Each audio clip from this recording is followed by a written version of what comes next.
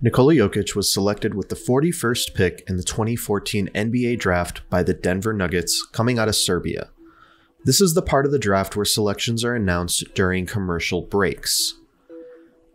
Jokic played overseas for KK Mega Basket, a founding member of the Adriatic Basketball Association. Remember their name, they'll come up again later. Between his first two seasons, Jokic was primarily used as a reserve. He only appeared in nine games, five as a starter, in his first season, but still managed to average 7.6 points per game, 5.6 rebounds, and 1.4 assists. In his second season, Jokic's role increased, but he was still coming off the bench for most of the season. In seven starts for a total of 39 games played, he averaged 11.3 points, 6.3 rebounds, and 2.5 assists. His three point percentage was right around 32%, and his field goal percentage was a notch over 50. Not bad at all. In the 2014 2015 season, following the NBA draft, Jokic became the focal point of the team. He quickly took advantage. He averaged 16.5 points, 9.7 rebounds, and 3.2 assists for the season, with a three point percentage of 33% and a field goal percentage of 53%.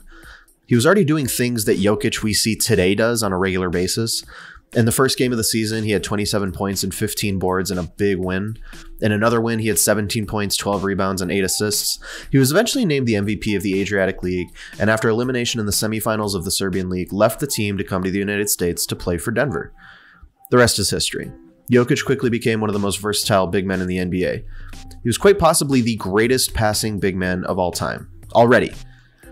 In 2021, it was announced that he had won MVP for the 2020 2021 NBA season.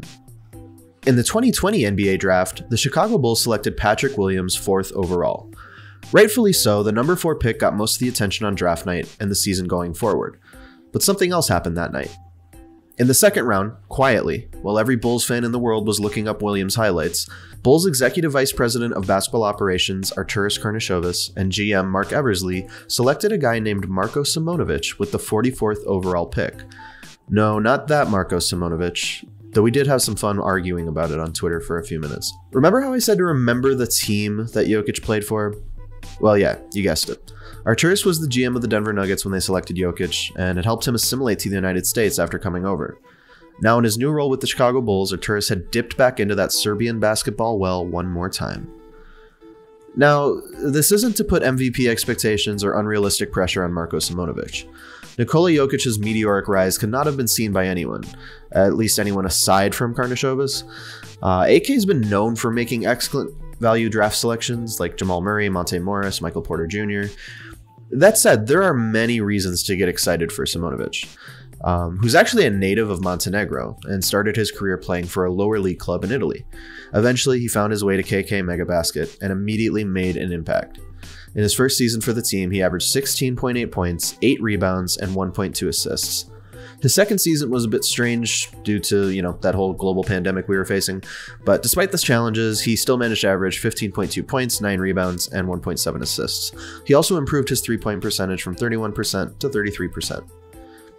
And there are some similarities between Marko Simonovic and Nikola Jokic, which is the entire reason that I'm talking to you right now. Coming into the league, you can identify those similarities in the way scouts talk about both of the players. Both players have been described as great shooters with length and long wingspans. The term threat gets thrown around a lot, usually in the context of pick and rolls, shooting off the catch, uh, that kind of stuff.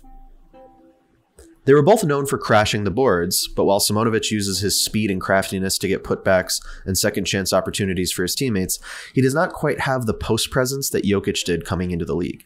He's going to need to develop a face up game if he truly wants to live down those comparisons, and just as well, there's not much to write about in regards to Simonovic's passing ability or physical presence. He's just kind of lanky and plays like it.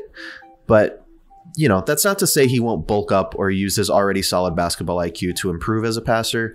Uh, there's just, you know, a lot of work to be done there. But Jokic didn't come into the NBA as a dominant big man. You know, the, the player you see today took a lot of time to develop. He made strides in being able to maintain position in the post without getting knocked around, and he refined his back to the basket moves with jump hooks and turnarounds. So Marko Simonovic, with the right tutelage under Billy Donovan and access to NBA training regimens, meals, that kind of stuff, uh, he could become a very good player for the Chicago Bulls one day. as it stands right now, he's more comparable to a player like Lauri Markkanen or Nikola Mirotic than he is to Nikola Jokic. But of course, things change quickly when you're only 21 years old. And I don't want to scare anyone with those comparisons. I'm just saying that right now he looks like maybe a better version of Lauri Markkanen coming to the NBA, like I said, at 21 years old. So there's still a lot of room for improvement. Bulls fans should be excited to see what he could bring to the team when he eventually does make the transition from Serbia to the National Basketball Association. Arturas Karnisovas had previously hinted that that could happen this offseason, uh, but then during his end of season press conferences, kind of made it sound a little more vague, but that might just be Karnisovas talk. Only time will tell. Whenever he does join the Bulls, he will have talented, experienced European veterans to help him with the transition, hopefully, molding him into a great NBA player.